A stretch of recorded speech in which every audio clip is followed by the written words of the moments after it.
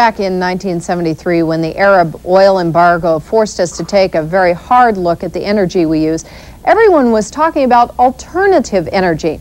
Well, 13 years later, there is a couple near Sandpoint, Idaho that has done a lot more than just talk about alternative energy. John Yeager and photographer Kurt Austin met up with them and filed this story. Here's tonight's edition of Positively Northwest. On a remote hilltop west of the Cabinet Mountains in northern Idaho, the Willey household has what every modern household has. A microwave oven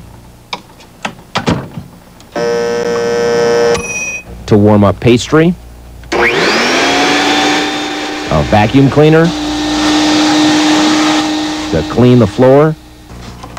There's plenty of light to work with the computer and plenty of power to work with the drill.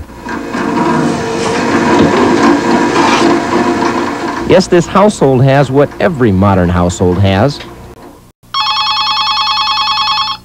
except a utility bill. Hello, this is Steve. Yeah, well, we uh, you're living in a situation where you don't have power now. And that makes Steve Willey happy.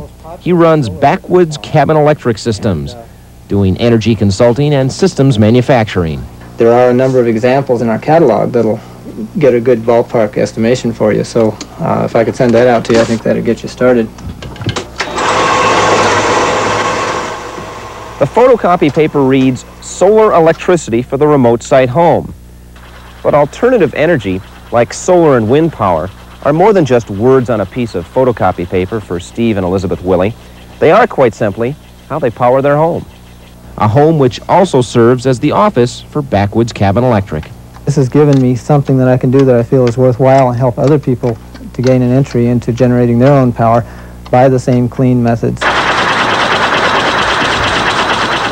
Primarily, we don't use any electricity for anything that does major heating, whether it's heating the house or hot water or cooking. That's all done with propane gas, some uh, solar through these windows, and the wood heat stove and that knocks off 80% of the consumption of any house.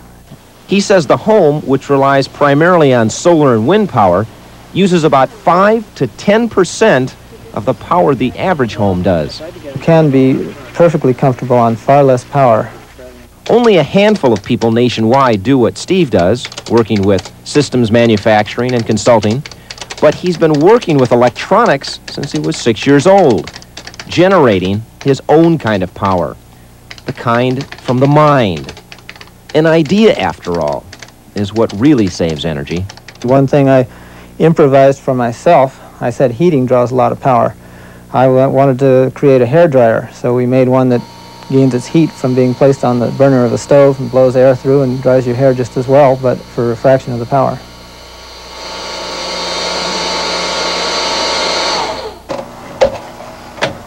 Before owning his own business, Steve says he worked for the phone company, cable television, and even as a radio disc jockey. But for the last five years, more or less, this has been a full-time job, and it's made him happy. On up.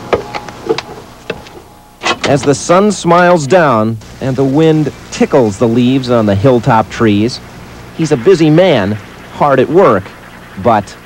A person is happy if he cannot tell the difference between work and play. And Steve Willey can't. John Yeager, KXLY News for Positively Northwest. What a beautiful place to call home.